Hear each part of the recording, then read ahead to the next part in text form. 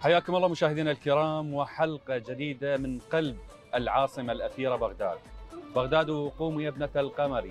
يا حبيبتي يا شمسي يا ترحال يا سفر يا هيبة الشعراء والصور. غنتك فيروز اشتهاء ندى فتقطر التاريخ من وتري إن العراقيين عشقوا أرضهم نقشا على الحجر. حياكم الله مشاهدينا الكرام في حلقة جديدة من بغداد الحبيبة من برنامج بيت للكل. هذا البرنامج العربي الذي يعرض من خلال أربع شاشات القناة المصرية والقناة الأردنية والقناة الفلسطينية والقناة العراقية العامة. اليوم زملائي في برنامج بيت للكل وصلوا لبغداد وصلوا إلى العراق بلدهم الثاني. بالبداية في حلقتنا أكو مفاجآت كثيرة وخاصة حلقتنا اليوم مليئة بالنغم والإحساس والمقام العراقي وكثير من الأغاني المهمة. خليني بالبداية أتحمد السلامة لزميلتنا شافكي لأن كانت مرت بأزمة صحية معينة نقول الحمد لله على السلامة ونورتينا يا شافكي الحمد لله على السلامه الله يسلمك يا أحمد. نورتينا. الله يسلمك. الله نورتينا ببغداد. أيضا مشاهدينا خليني أرحب بزميلتنا من أردن النشامة. شهد اللي انضمت إلى أسرة وعائلة برنامج بيت الكل آه، راح تكمل ويانا أيضا مسيرة برنامج بيت الكل وأكيد هناك تفاصيل مهمة. فنقول لك مساء الخير ومنورتنا مساء ويا رب الورد تكون. والنور آه، والسرور بادرة خير من بغداد المحبة والطيبة والسلام. الله يا هلا يا. شهد. أهلا. خليني اخذ من أحمد الكلام الجميل ده وأمسي عليك يا أحمد وأهالي بغداد وأهالي العراق وأمسي على آه، بيت للكل مشاهدينا اللي وحشوني أنا كمان. لكن في البداية الزميلة العزيزة المشرقة شهد أهلا وسهلا بيكي. تكملي المسيرة في بيت للكل. أهلا وسهلا بيكي. أهلا. وطبعا ياسمنتي اللي يعني ما أقدرش أستغنى عنها. حبيبتي. دايما. يا أهلا ياسمين. الحمد لله آه،. رحلتنا آه، الحمد لله على السلامة الله لازم. يسلمك يا ياسمينة الله يسلمك. رحلتنا للعراق دي دي الرحلة الرحلة الثانية لبغداد العراق. ولكن في كل مرة بتلمس آه، تعمير بتلمس ابتسامات على الوجوه بتلمس أمل بتلمس بإنه الطريق إلى الأفضل والأحسن. وفي كل مرة بنزور فيها العراق بتحس كده وأنت بتضب بالشنطة زي ما بيقولوا أو بتقفل شنطتك في مصر وبتطلع على المطار وبنلتقي جميعا أول ما بنوصل بتحس إنه التقاء عربي. يعني ألو أهلا يا أحمد من العراق إحنا وصلنا. ياسمين من فلسطين بطمن عليها وصلنا. وأكيد شهد كمان أهلا بيكي من الأردن. فريق عمل بيأتي خصيصا لدولنا العربية على هيئة برنامج وعيلة كبيرة. كمان أنتم مشاهدينا بدولنا الأربعة تشاهدونا على الهواء. كل شيء. بنيجي هنا البرنامج تطمنوا أكتر على العراق آه، تستمتعوا بالعراق تستمتعوا بكل ما فيها من تاريخ حضارة وأيضا يعني غد مشرق وجميل بإذن الله. أهلا بكم جميعا في حلقة جديدة من بغداد العراق. الله الله يا شافكي يعني بعد كل هالكلام الجميل من أحمد والكلام الجميل منك اللي ممكن نحكي فيه شعر عن بغداد اللي أسرتنا بجمالها بمحبتها.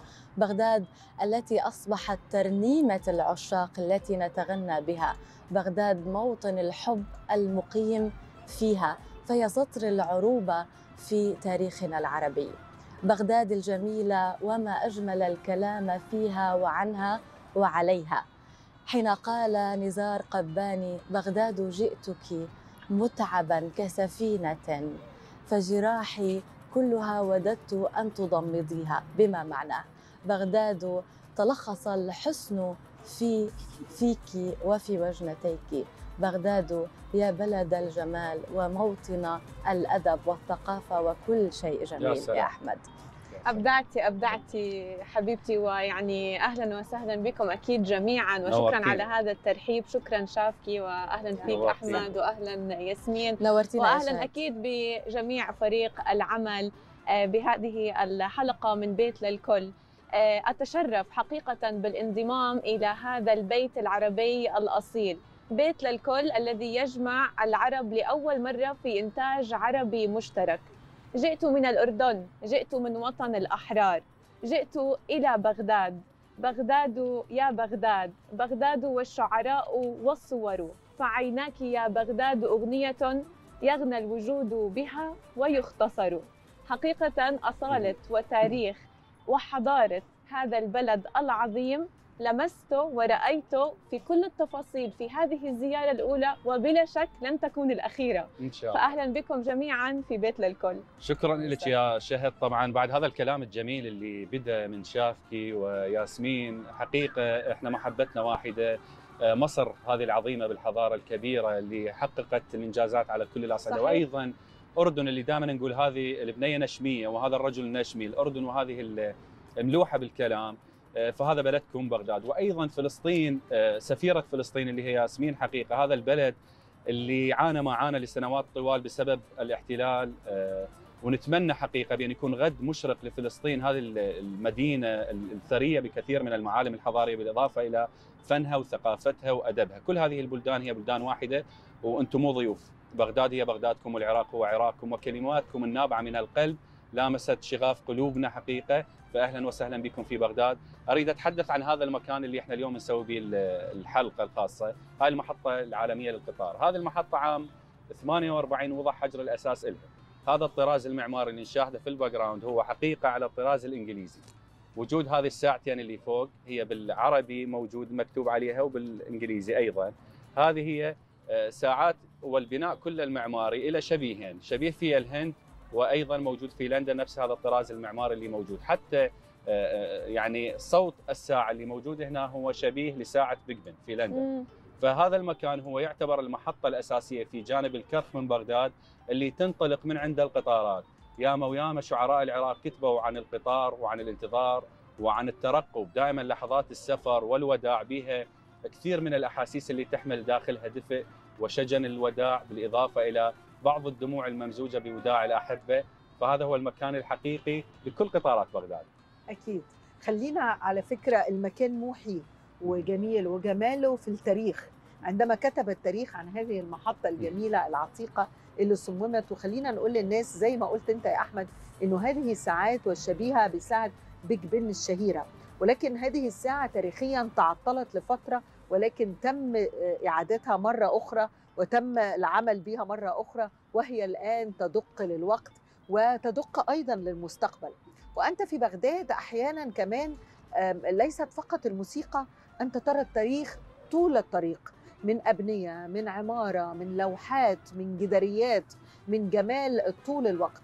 والتاريخ في بغداد يحكي عن مشوار طويل لحضارة كلنا تربينا عليها. كم قرأنا عن الدولة العباسية كم قرأنا عن تاريخ بغدا- بغداد وبابل وكم عشنا في قصص وكم قرأنا للشعراء وكم تغنى الشعراء عن القصائد.